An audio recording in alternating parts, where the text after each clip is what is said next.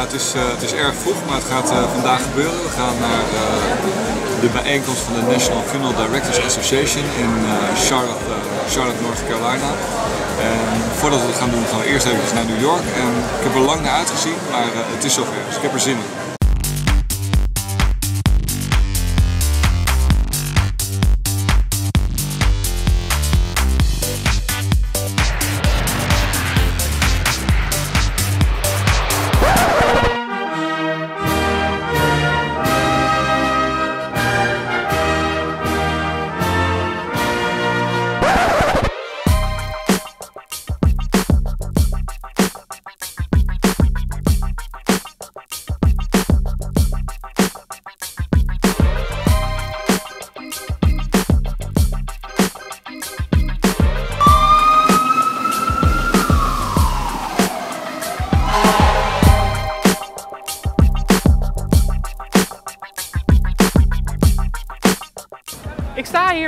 Times Square, het bekendste plein van New York en misschien wel van de hele wereld.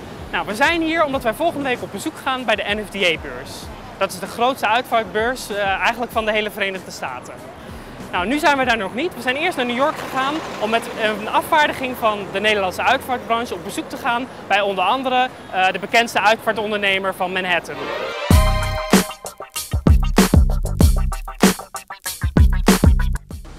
Ja, we staan hier bij de Frank Campbell Funeral Chapel. Ik sta hier samen met Mark van Ravenstein.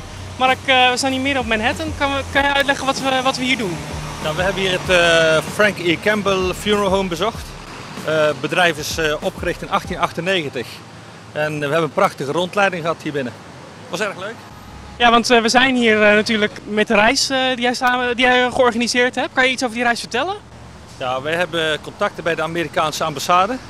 Ehm, de NFDA, dus die de beurs organiseren in, uh, in Amerika, hebben contact uh, gezocht met de Amerikaanse ambassade om mensen uit Nederland en eventueel België mee te krijgen naar deze beurs.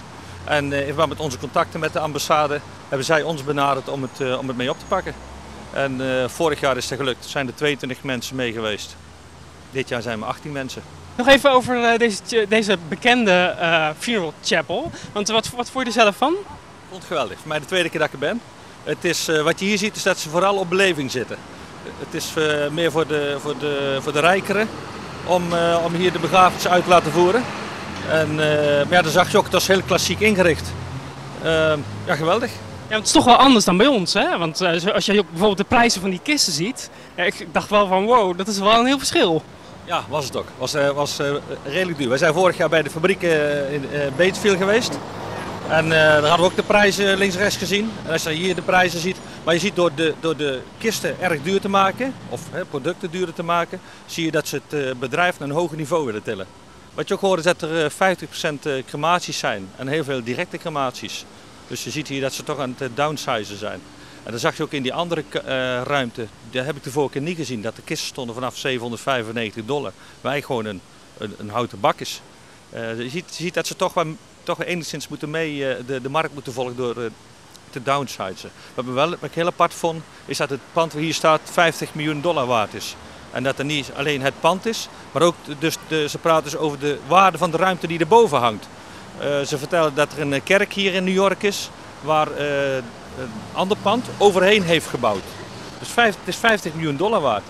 En het is van SCI, groot, grote onderneming. heeft het destijds gekocht.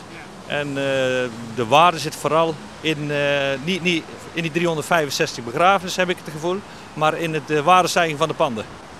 Ja, en natuurlijk ook de namen, hè? want we hebben gezien, er zijn die hele, hele bekende namen begraven, hè? of die hebben hier een dienst gehad. Ja, hier, zit, hier komt echt de high society.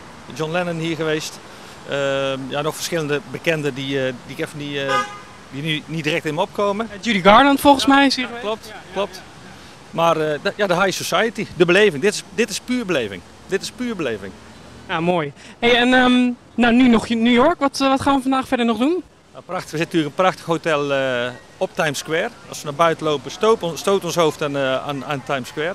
En van daaruit gaan we de, de, de stad verkennen. We kunnen naar Central Park, we kunnen naar Ground Zero. We, kunnen, ja, we zitten zo centraal, we kunnen overal heen lopen. Ik denk slenteren door de stad. Nou, veel plezier. Dankjewel.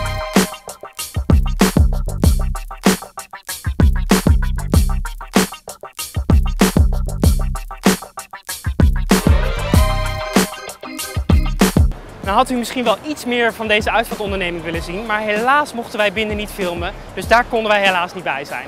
Nou, volgende week bij de beurs mogen wij wel overal bij zijn. Dus als u alle ins en outs wilt zien van de grootste Amerikaanse uitvaartbeurs, hou de site dan in de gaten.